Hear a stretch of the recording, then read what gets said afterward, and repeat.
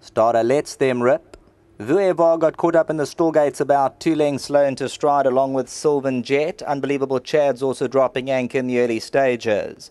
Mr. Roy, the orange cap, first one to stride. Well in flight is right there on the right hand side in second. Mulrace in the blue at the rail is third. Restless Rogue is fourth on the outside. Monte Cristo secures the rails run in fifth position. Gurkha Chief is sixth. Unbelievable Chad in seventh position. Thunderwood is eighth. Sylvan Jet in ninth. Tenth position belongs to Yuri's Gold. Yuri's Gold is giving them 10 length start as they shake loose and go past the 800 metre zone. Towards the back end of the field, Wadapoiki, Vuevar just in front of them. In front, Mr. Roy dictating by a length and a quarter. Well in flight, she's second on the outside. Mulrace at the fences third. Restless Rogue towards the outside. Monte Cristo is going to look for some galloping room. Going to follow well and fly through as they come to the 400. Unbelievable Chad. Green sleeves and cap to the outside.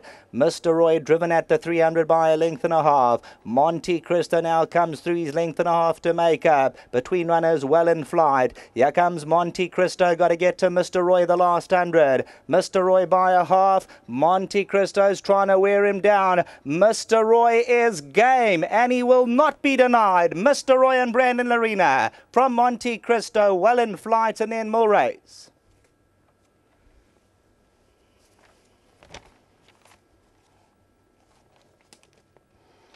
Well, nice to see Brandon Lerena in the winners box. I chatted this morning on his way to races. We're going to have a chat to him for the weekend for understarters orders. And we said, Mr. Roy, that would probably be his plum of the day. And of course, mark my card, he's looking for a big performance later in the afternoon. But the son of Western Winter for the Allison Wright stable, Mr. Roy, Brandon knows him well and he comes good.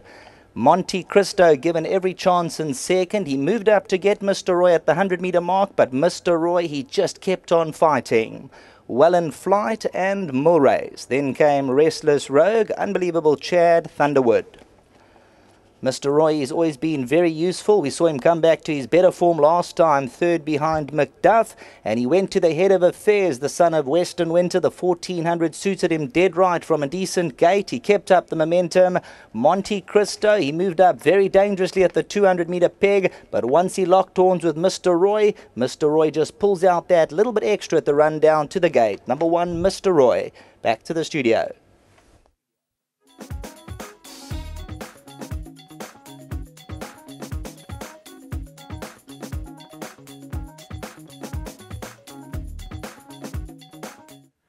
Oh, Mr. Roy has come through, the son of Western Winter, and showing his class, carrying top weight here in this field. Mr. Roy has come through to win well here for uh, Wright, and of course, owner Roy Moodley is always been a beautiful, handsome-looking individual. Uh, that's dear to Allison's heart, and uh, he's come through to win a very good race here, Allison, over this 1400 meter trip. And you always thought a bit about him. Yeah, Dees, um, you know, in his two-year-old career, he competed in all the features, and I think if you go back and look at every race, he had an excuse. He, he never got the run of the race, and he was always interfered with. So, yeah, we brought him back to this. Uh, you know, it was an ideal race for him uh, just to get his confidence. His last run in the 16 was also very good. Again, he was meant to go up there, and he landed up last and ran on. So, yeah, he's just he is a really nice horse, and um, just well done to Mr. Moodley. And uh, to Gordon, I don't know, I think he was flying in or something, so he's not here today. But thanks to them, you know, they, they paid a lot of money for him, and um, yeah, we're just happy that he can get the wins. He carried top weight today, and uh, there were some uh, decent horses below in the weight, so this was a win full of merit. Yeah, Dees, and well done to Brandon. You know, we didn't really want him to be in front, but you know there wasn't a lot of pace, and uh, Brandon so- slowed it up, and yeah, rode a very good race. So well done to him, and thanks to the team at home, and well done to Kevin.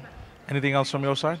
No, Dees, that's it. Um, just so well done to Lama the second winner for today, and um, I think they've also got a half brother on the sale, so that's nice for them. Well played. And thanks to our sponsors, Hollywood. Safe trip back home. Allison Wright and uh, Lammerskull start again, another one for them. Uh, Peter Kraft, uh, well played. And of course, the son of Western Winter. Talk us through it because the stable didn't want him to be in front, but you've been in this situation throughout your career. When those gates open, everything changes. It's plan A, plan B, plan C, even a plan Z. Yeah, of course. These um, obviously our plan was always going to be positive, you know, because of the lack of pace in in the form. And, uh, you know, I think it actually played out perfectly into our favour because, you know, we got some of the dangers stuck on the rail and, and I think, uh, you know, that just hampered their chances of beating us. And, and uh, he showed his, his well-being towards the end. He kicked on well. Won a very good race. Well done to Kevin Well done to Roy and Gordon. Another nice one. Decent horse on his day. He can run this this individual. Yeah, he can. He's, he's, a, he's a lovely horse to ride. You know, big action, uh, a lot of him, and a good turn of foot. So, you know, I think in the right races he'll always he'll always be competitive. And if it was a beauty contest, I'm sure he'll win it hands down every time. Absolutely, dude. I think Hugh Hefner might want to take over him. Anything else left from your side, young Brandon? Um, I got Kelly's King in the next. Uh, he's got a big chance. Uh, obviously, a very good run over the two four last time, back to 1950 uh, with a good draw. I think he'll be he'll be in the first three. Uh, mark my card. If it cools down, I think she'll have a big shot. Um, the field scratched down to eight runners, and and uh, our draw's not too bad. She has a good chance. You've partnered her last two runs where she's been running on smartly as well, and no problem with the distance. She's shown that she stays. Yeah, and uh, Wayne's tried a few different things at home, and, and they seem to be helping her. So, you know, she's improving with every run. Hopefully, she improves to, to the number one box today. Top ride, yeah. Thanks, Deez, and thank you to my sponsors, Fleet. Well played. Brandon Lerena, owner Roy Moodley, well done. Number one, Mr. Roy. That's the number you'll need in the first leg of the jackpot. If you quote this quartet, one, four, six, and then ten. Coming up next will be race number five. Well, the exotics are all done and dusted now. So you've got pick threes, doubles, and all to come bets to play from races five through to eight.